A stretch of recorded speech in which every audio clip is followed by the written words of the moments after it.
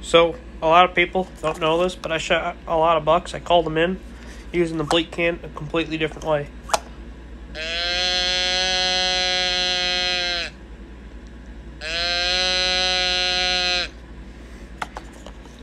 Hope this helps the other hunters on TikTok.